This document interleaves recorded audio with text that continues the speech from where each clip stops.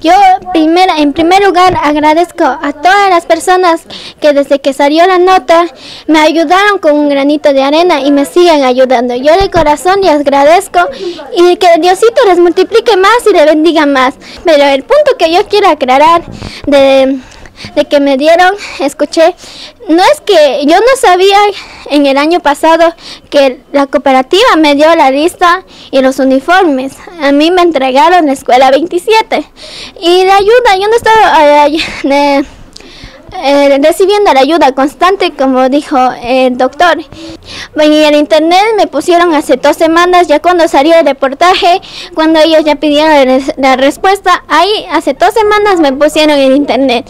Pero no es como ellos me dicen que ya está a tiempo hacer internet.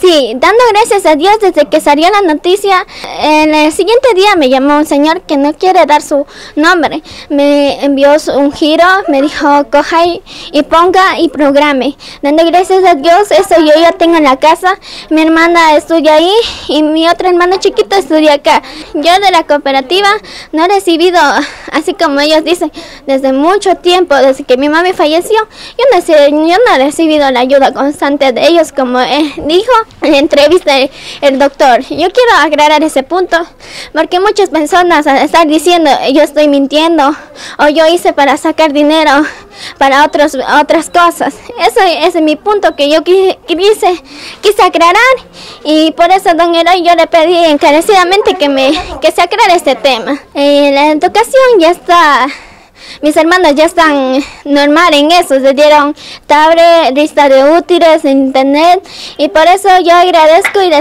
seré siempre agradecidas a todas esas personas que me están apoyando y me apoyaron y, ojalá que me sigan apoyando. Muchísimas gracias, que Diosito les multiplique más. Sí, la deuda sí se pagó algo.